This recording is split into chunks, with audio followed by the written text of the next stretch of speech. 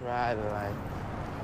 No certain generalization of human beings being more surprised. The things caught in the minutes, miscommunication as a green dollar glitz, moon don't shine, don't don't be risky, cause if you stick behind me, it's gonna be risky. They don't wanna see me succeed.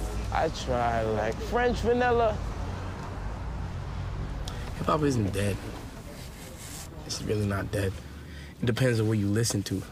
You know, you can sit there and listen to radio all day and say hip hop is dead and never went on YouTube and find any underground rappers. There's actually a lot. Music from your reality. Alchemy, triple beam, grade A battery. Second boot charger. Yo, how much is it? Music is really wide. You know, it's extremely wide. There's a lot of artists out there. It's just, it's just the direction that the industry pushes the music as. You know what I'm saying? If if the industry started pushing just underground music straight, then people would just be like, "Wow, this is hip hop's not dead. This is amazing." But due to the fact that people look at the majority, majority of the time look at the money side of it, they wouldn't really do that. So it's just like it depends on where you're hearing it from, and if you really want to search that. We're different people. We have different lives and all that, different experiences. Like, it's dope to share your story with somebody else because it's interesting. People don't know certain things that's going on. Like, like just to properly understand other aspects of life. You know.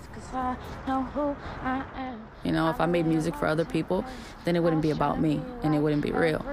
But people relate to me because they've gone through similar struggles. But still, uh, triumph is nothing if it doesn't come from tragedy. So I'ma keep on running with all of you bitches after me, and I'ma keep it coming. It's nothing, you motherfuckers. Even though I overload, I'll function, you motherfuckers like. It's all about really being who you are, staying true to who you are, staying true to where you came from, just telling your story.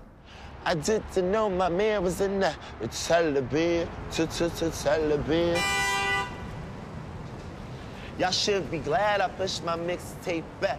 Get yourself a little shine before Mykki brings out the axe.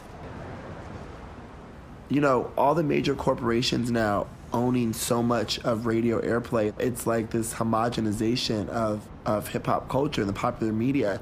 And all that means is that, you know, the underground just thrives again.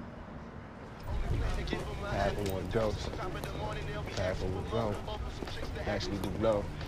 Whole strip on lock. Strip off the old block. Wait on the old block. Plus.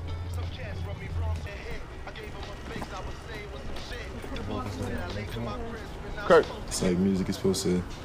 You, you listen to music, you're supposed to be empowered and like feel good about yourself. But like when the hip hop is just centered around like superficial stuff, like just girls and guns and money and stuff like that. Yeah. That's really what made me stop listening to hip hop. Honestly, Yeah, commercial. is that it got really sh- like crummy.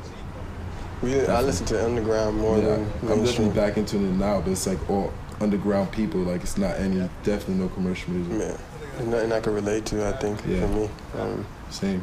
people Keep the think that, capitalism yeah, going in. It's just- it's that's what you need to do to be a rapper.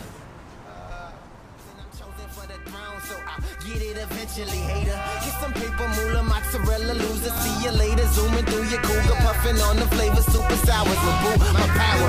Name a team of G niggas, it's usually ours. Used to the hours in the studio, full in my wallet, rolling chronic, palm pilot. Shorty smiling, 40 drowning, ain't this true? I'll be prowling, we be rowling, don't we OG, kush rolling up with the OGs. I'm pro free, nigga, that's no steeds. We sky high, nigga, that's no screwed up. Codeine, we choose fuck, and looped it up, and bison, I'm heightened and lightning. You ate for these stupid.